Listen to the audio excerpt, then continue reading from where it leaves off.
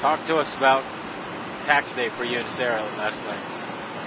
Yeah, so we're driving down from Mammoth to LA to fly out for Boston, and we get an email from our bookkeeper at like 7 p.m. telling us how much we're gonna have to pay our, our taxes. We're like, great, so we gotta find a post office. So we go to this post office in LA. They got like the full on like TV cameras, It's just crazy. It, I so I dropped Sara off. She did it. It took like 10 minutes or 15 minutes. She was there, and then I came back and picked her up. Just pulled in the parking lot, and it took us like another 20 minutes to get out of the parking lot. It's just insane. So. Yeah, I'm glad to have that done. I, I always hate having taxes before spring marathons. It's such a stress, but it's like the extra relief when you get done with it that allows me to run that much faster.